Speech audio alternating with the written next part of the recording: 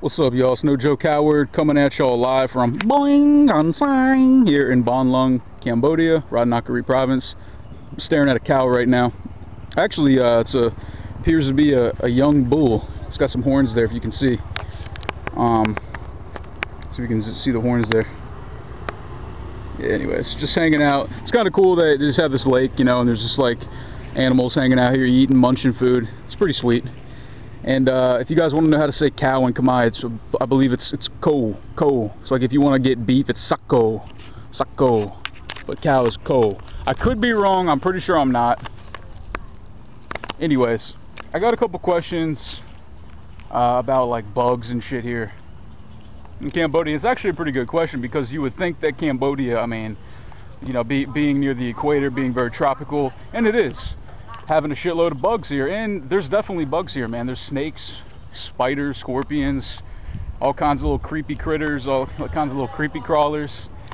Now, as far as my exposure to them, obviously predominantly, or I've, I've, I've, I've spent a considerable amount of time in Phnom Penh. I mean, I've been living there for uh, just over a year now. So I've spent a lot of time in the city. So my exposure to like the wilderness has been pretty minimal. But uh, that's not to say that there aren't bugs in the city. Um, definitely lots of cockroaches. You're definitely going to get cockroaches in your apartment from time to time. Um, I mean, like ways to avoid that, I guess, would be like not leaving a lot of food out, but they're but they're still gonna find a way in, man, because it's warm.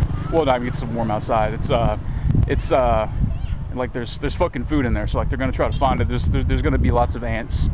Uh, it's it's very normal to just go to somebody's house or to a a business or whatever, and there's just a lot, big line of ants. Hello, want to say hi? Uh, uh, hello. uh, yeah, people hanging out eating their dinner. It's kind of it's kind of a cool setup here. I guess people people order from these uh, little stalls here. They'll order food from these stalls here, and then they'll just kind of like sit out here and munch out. It's actually really nice. I mean, dude, look look at the fucking sunset. Hold on. Look at that. Look at that sun. I mean, dude, the, the camera does not do it justice, man. It's so incredibly, it's such a deep, like intensely bright orange. It's like, it's like God's pupil, man. It's like God's pupil, dude.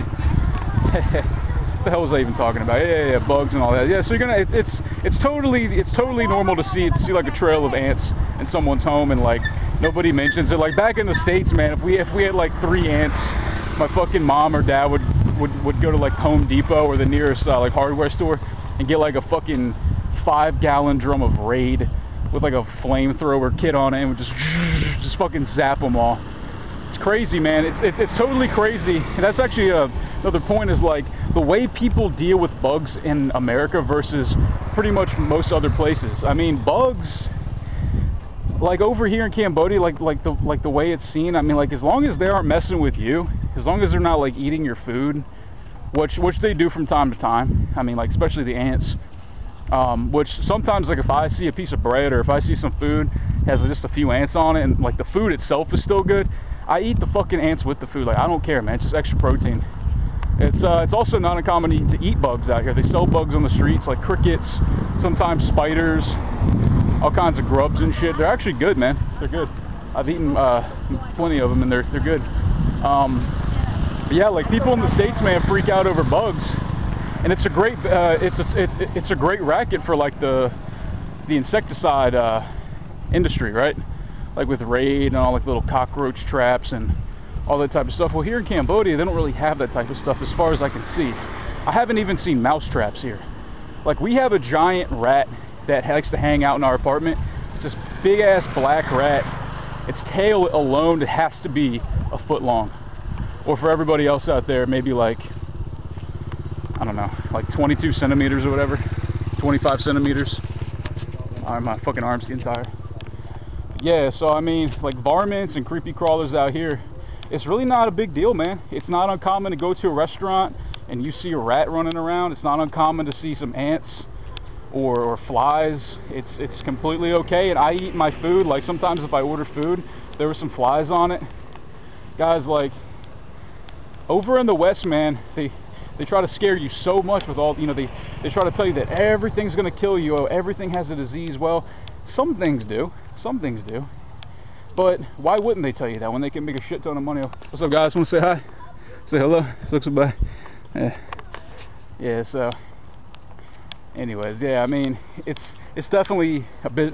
It's definitely like a good business model to basically say that oh well, if there's bugs anywhere near you, you should kill them.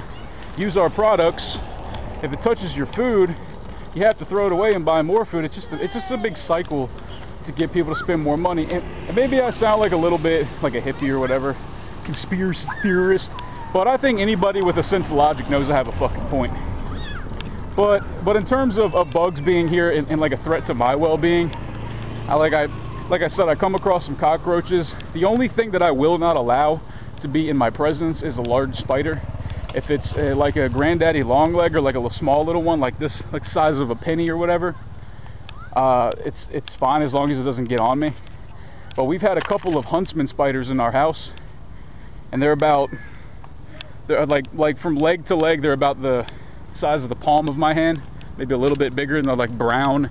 They've got fangs, and they're very very fierce looking. And I will not like allow that thing to live in my house. Like there's no fucking way that I could sleep knowing that it's lurking, it's trying to kill me. So uh, snakes, I haven't really seen any snakes. They're definitely here. They're definitely here in, in Cambodia. Uh, to say hi? Hello. Oh, they're, uh, they're a little shy. little girl was little girl was waving at me. The second I turned the camera, she's like, ah, ah whatever, fuck it. Anyways, y'all, yeah. So bug, bugs aren't really an issue here. There, there, oh yeah, there's mosquitoes. Yes.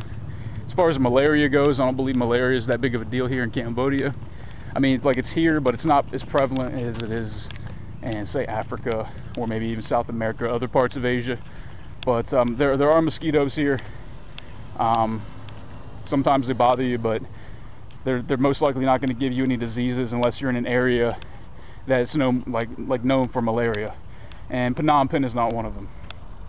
So I have been attacked by some street dogs here.